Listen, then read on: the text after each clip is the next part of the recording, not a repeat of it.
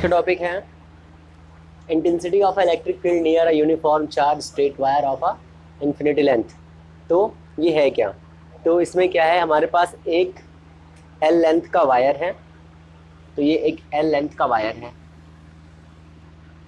और इस L length के पास में क्यू चार्ज है, जो पूरी लेंथ पर डिस्ट्रीब्यूट है। ठीक है? तो इस एल लेंथ के वायर के पास में जो क्यू चार्ज है, अगर वो पूरी लेंथ पर डिस्ट्रीब्यूट है तो इसका मतलब ये है कि इसमें लीनियर डिस्ट्रीब्यूशन लगने वाला है। तो अगर इसमें लीनियर डिस्ट्रीब्यूशन लगने वाला है, जो इस पर क्यू चार्ज है, ये क्यू चार्ज इस एल लेंथ के वायर पर डिस्ट्रीब्यूट है, जो इन्फिनाइट लेंथ का है, ठीक है? अगर इन्फिनिटी लेंथ का ये वायर है तो हम सबसे पहले क्या करते हैं? तो हमारे पास गॉस का रूल अप्लाई करने का सबसे अच्छा तरीका ये है कि आप इस वायर के चारों तरफ़ एक गॉसियन सरफेस ड्रॉ करो, ठीक है? गॉसियन सरफेस ऐसी ड्रॉ होनी चाहिए, जिससे इस वायर की लेंथ सभी पॉइंट्स पर इक्वल हो। सभी पॉइंट्स पर इक्वल हो। सभी पॉइंट्स पर इक्वल कैसे होगी? तो हमने मान लिया कि हमारे पास ये एक इन्फिनिटी लेंथ का वायर है, और हम इसके चारों तरफ़ एक गॉसियन सरफेस ड्रॉ करना चाहते हैं। तो गॉसियन सरफेस कैसे हम ड्रॉ करेंगे? तो हमने मान लिया कि ये एक हमारे पास वायर जो था, ये।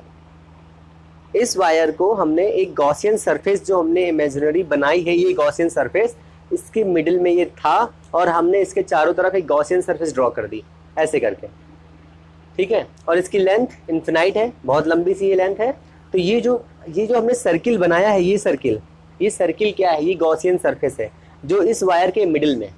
ठीक है? मिडिल में क्या है? इसका प्रत्येक बिंदु, जो प्रत्येक साइड है इसकी मतलब एवरी पॉइंट तो इसके मिडिल में रहेगा। मीन्स अगर हम गॉसियन सरफेस ड्रॉ करें तो कुछ इस तरह से।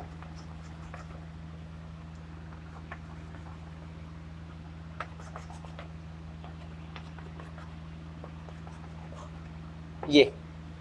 ऐसा दिख रहा है? तो ये एक मिलन बन गया है।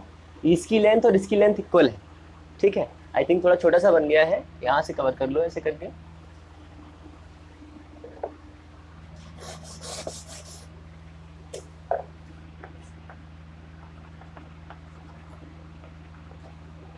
ऐसे करके। ये। ये जो हमने कवर किया है इसको, ये कवर ये गॉसियन सरफेस है। तो ये है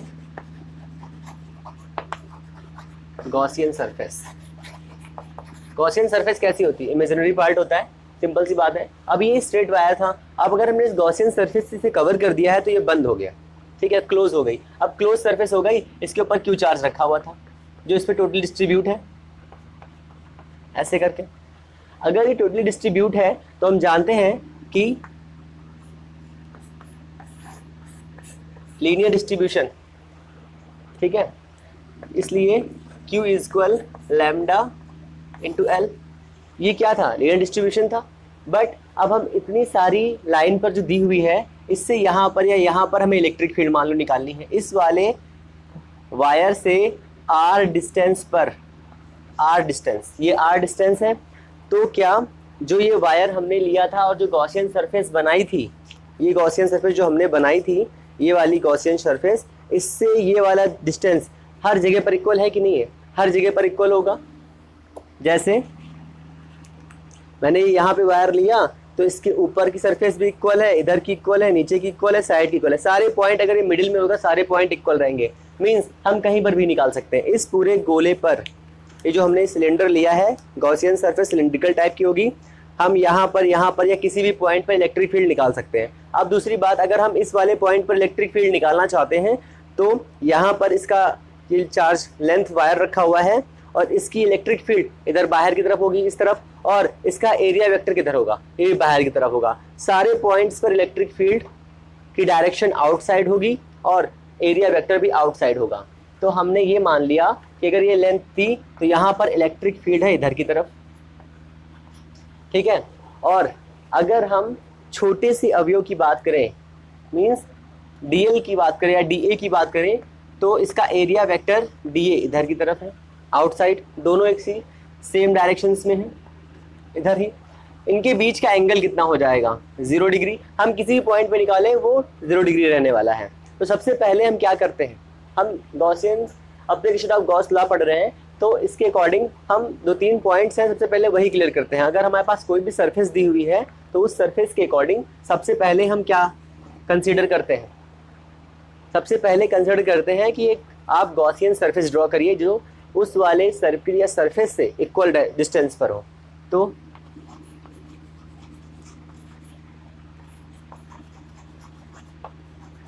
गॉसियन सरफेस। दूसरा पॉइंट क्या होना चाहिए? Angle between E and D A इनके बीच का एंगल देख लीजिए कितना है।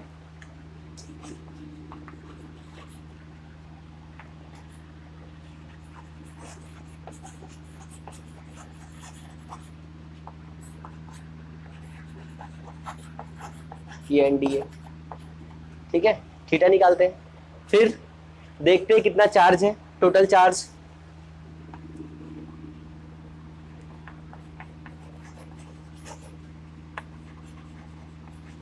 total charge calculate करते हैं। तीसरा हो गया। चौथा। फिर close surface E D A निकालते हैं। ये तो निकालते ना? इसके बराबर क्या होता है? हाई तो होता है? बस हो गया।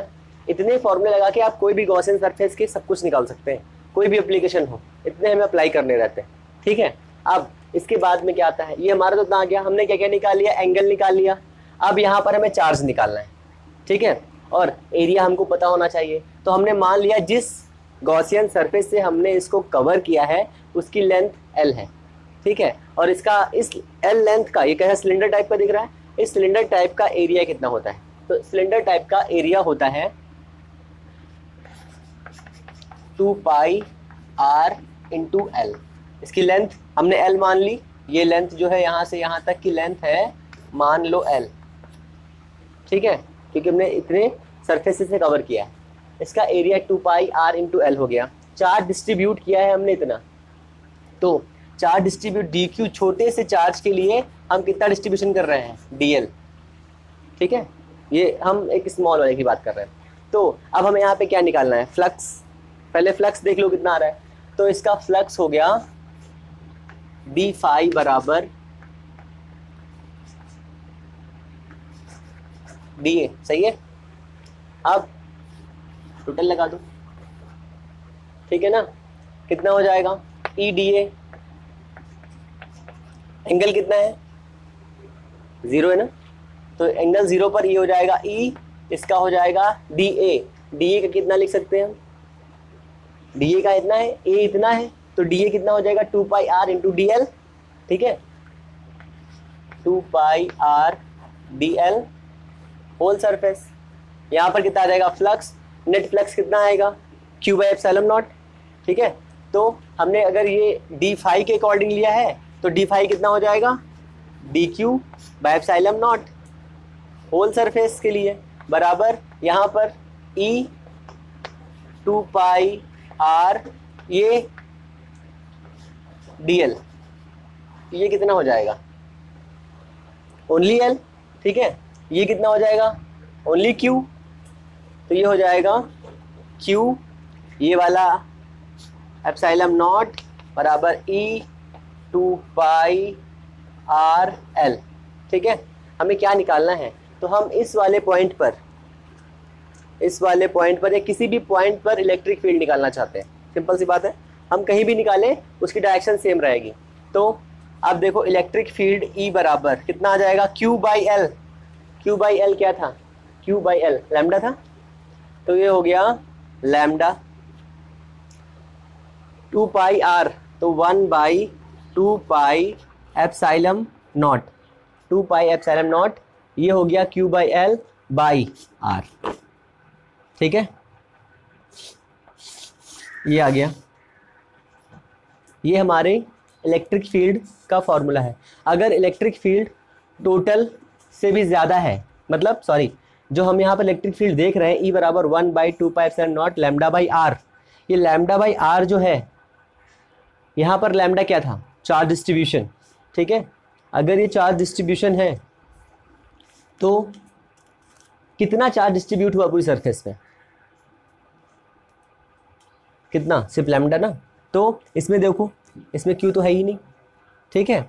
अगर क्यू नहीं है तो ई e और आर के बीच में ग्राफ बनाना चाहेगा हम। अगर हम ग्राफ बनाए तो कैसे बनेगा? तो हम ग्राफ बना लेते हैं इनके बीच में।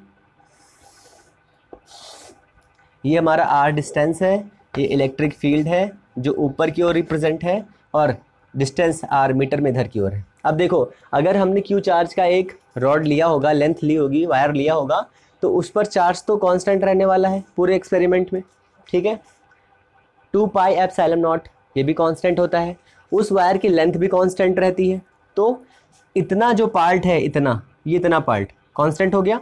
जब कांस्टेंट हो जाएगा, कितना पार्ट कांस्टेंट हो गया? तो हो गया हमारे पास फॉर्मूला ई e बराबर के बाई आर के कांस्टेंट है के की वैल्यू कितनी है? Lambda by two pi epsilon naught two epsilon naught ये कांस्टेंट है। इस ग्राफ के लिए, ठीक है? अब हम ग्राफ को कैसे सोचें कि कैसे कैसे बन रहा है? तो हम अगर आर दूरी पर बढ़ते जाते हैं तो एक ऐसी डिस्टेंस आती है जहाँ हम इन्फिनाइट पहुँच जाते हैं। इन्फिनाइट अगर हम इन्फिनाइट पहुँच जाते हैं, मान लो इन्फिनाइट का पॉइंट यहाँ पर था, मान लो, ठीक है? वैसे तो इन्फिनाइट का पॉइंट इन्फिनाइट तक होता है। तो अगर हम आर बढ़ेंगे तो ई e कम होगा या ज़्यादा? कम हो जाएगा, ठीक है? और अगर हम आर को कम करेंगे तो क्या होगा? तो हमने आर को ज़ीरो कर दिया, मान लो। तो ई e कितना पहुँच जाएगा? इनफ्राइट मतलब आर को ज़ीरो करना क्या है? हम रॉड के जस्ट पास में आ जाए। मान लो, ये हमारे पास एक रॉड थी, हम इस रॉड के पास आ गए। यहाँ पर अभी हम इलेक्ट्रिक फ़ील्ड निकाल रहे थे, हम कम करते करते करते करते यहीं पे आ गए। तो यहाँ पर इस टच करने के बाद आर ज़ीरो हो जाएगा। इस वाले पॉइंट के पास इलेक्ट्रिक फ़ील्ड कितनी हो जाएगी? इन्फिनाइट हो जाएगी। और हम आर को बढ़ाते बढ़ाते बढ़ाते बढ़ाते बढ़ाते इन्फिनाइट पहुँच गए। उस जगह पर इलेक्ट्रिक फ़ील्ड कितनी हो जाएगी? ज़ीरो हो जाएगी ना? यही ग्राफ बनाना है हमको। तो ये हमारा इन्फिनाइट पॉइंट है। हम बढ़ते जाते हैं और बढ़ाते जाते हैं इसको मान लो।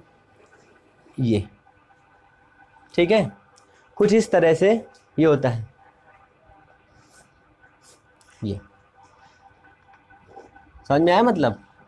अब ये ग्राफ ये नहीं रिप्रेजेंट कर रहा है कि ज़ीरो पर आने पर ही ज़ीरो हो जाता है। बट इलेक्ट्रिक जब हम डिस्टेंस को कम कर देते हैं तो आर ज़ीरो हो जाता है। ठीक है? आर ज़ीरो हो जाने पर, आर इसमें ज़ीरो कर दो, ई इन्फेनाइट हो जाएगा। तो आर ज़ीरो ये बहुत छोटी डिस्टेंस है मान लो तो ये इन्फिनाइट को पहुँच गया, ऊपर चला जाएगा।